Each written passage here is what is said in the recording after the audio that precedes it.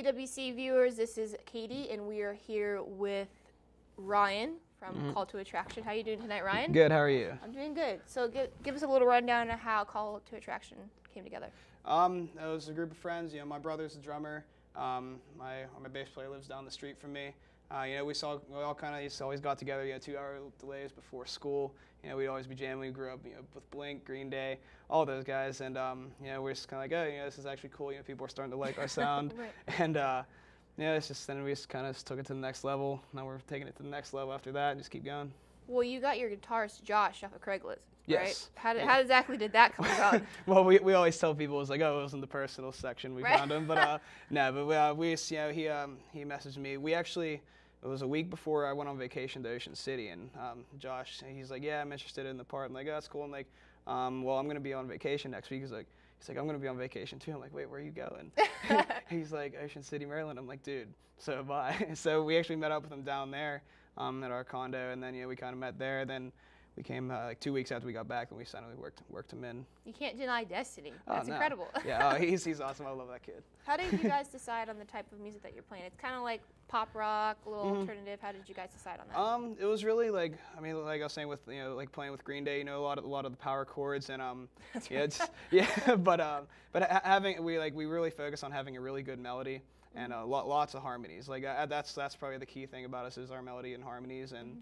I mean, it's you know, like I was always told, like you know, simple is the best. I mean, like let it, uh, let it be by the Beatles. You know, Okay, very very yeah. simple song, but yeah, that's, that's what we stick to. But you were talking about Blink and Green Day. I mean, you have three. Yeah, I mean- chords. So Oh yeah, but uh, definition of that. But uh, yeah, I mean, they're just you know they. Go, I mean, most of their stuff simple, you know, compared to you know some other bands that are out there. But Right. that's just we just always played, and that's just kind of helped form like what we decided to play. You're not so- trying to melt faces. You're just trying to like Uh, warm hearts, maybe. Warm warm hearts make people dance. Okay. you know? So besides Blink or Green Day, who would be some of your other main influences as a band? um, a, a, a lot of the um, a lot of the newer bands like like All Time Low, um, bands like Hey Monday, um, Every Avenue. We're actually really good friends with them. Um, uh, the Red Jumpsuit Apparatus. Actually, a lot of bands that we opened for. you know, Okay, like we, we kind of we kind of became really good friends. You know, we saw we all talk. You know, just talk about what we're doing and everything. So. What made you personally want to play music? I, I personally like like I couldn't give a speech to a class if I wanted to, but I could perform. Like I just like I just like performing. I like you know being entertaining and you know like that's what I do. Like I always tell people like I could no, never give a speech. You know even to like ten people, but You're but doing I- okay right now. That's good. Yeah. but but yeah, like I mean if it's 800 people, nah, no problem. You know. Do you think that you like people could understand you better through song than when just talking? I think so. Some people have told me, you know, like it's like I'm like a different person when I'm on stage, you know, because you like you get you get in the zone, like I, I always say, and it's just you know you're uh, doing your thing. That's your moment, Mm-hmm. you know, to shine. And Do you have an alter really- ego? You know how like Beyonce Uh, has Sasha Fierce. Do no. you? Well, honestly, like we're, we're really like the same, like how we are, you know, like like if you just talk to us, you know, like eh, like eh, we, we hang out at Sheetz a lot, and um, you know, like if you talk to us there, that's exactly how we are on stage, you know, like that's that's also another key thing about us is you know we're we're entertaining to watch, talk to each other. Mm-hmm. That's uh, a lot of people said that, so I'm, I'm excited to see you guys. Then. oh, it's, it's it's a good time. what are some of your favorite albums growing up Um, that maybe helped shape like what you wanted to do or helped shape the band sound? hmm. I'd say, wow, that's a good one. this one always makes people think. yeah, I would say, well, definitely all killer no filler. Oh, okay. from Sum nice. 41. Yeah. Um, a lot of that, you know, that that like Sum 41 definitely helped me with you know being out there because you know they're obviously you know Right. right, right on your face Yeah. with most of their songs. Um, and then just going off that, that's when I started probably playing guitar. Then after that, um, getting into bands like All Time Low, like when Dear Maria Count Me In came out, Mm-hmm. that was you know really.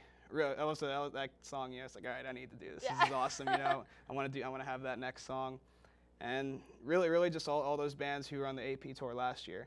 You know, just Oh, listen, okay, listen to all of them, and uh, Wait, who else? I'm trying to think of who was on the tour. it was uh, what, fall 2009 or? yeah. So it was the, one- the Never Shout Never headlined.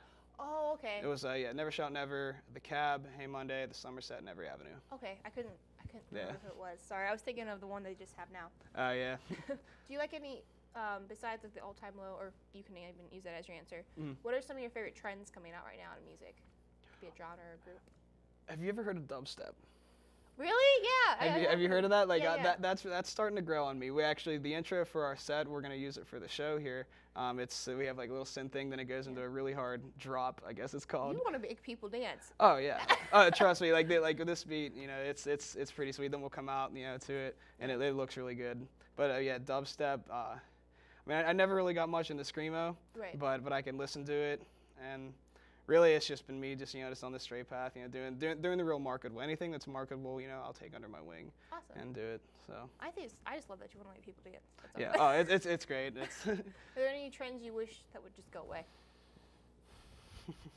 There's so Uh, many. I see this one's everyone's always like, there's so many that I wish would just Uh, th- stop. there are like I mean uh, honestly I don't mind them like I like all kinds of music but like I could never I could most likely never listen to a whole album of rap. I mean ra- rap Okay. rap rap's never gonna go away. I got I got Right. it's, it's it's I like it but like I said I can never listen to a whole album. Mm. But like the new auto tune stuff you Uh, don't like, maybe. Yeah I mean like, yeah that- that's the same thing. Like I could listen to one song by T Pain and then and then after that it's like okay you know it's the same.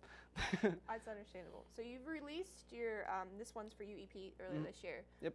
So tell us a little bit about that. That was uh, we we um because all, all the the two albums we had before that we recorded at my house. You know they, they came out they came out you know pretty good for a self release and we're like all right we're gonna take this next step go professional.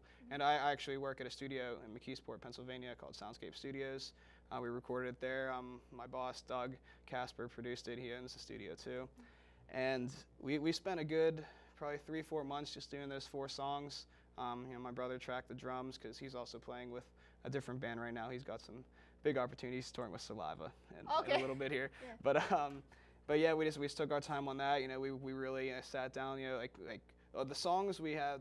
There was one new one on that CD, and then three of them were from uh, past CDs, and like we were were, they were the ones that really went over well with people.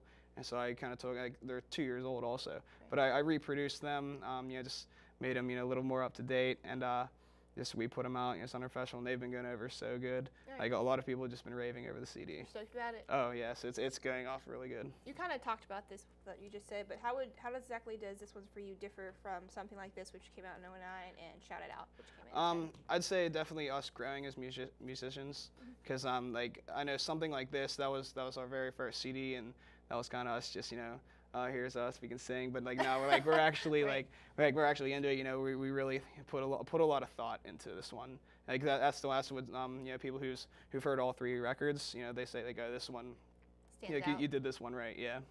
what was the what's the writing process for uh, Call to Attraction? Um, I, I, I write all the songs.